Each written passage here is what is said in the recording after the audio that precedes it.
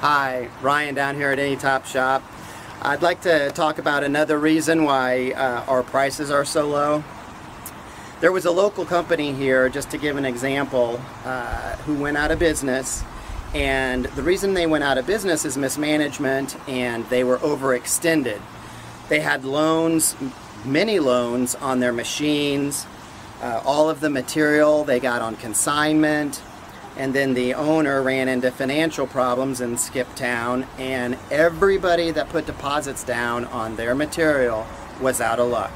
Because the bank came in put a lock around everything put cameras up and says nothing leaves. Because the bank actually owned everything not the shop. Here I own everything I own every square inch of this material I own all of my machines, all of my equipment, I own everything. So the only one who can put a lock on that fence is me.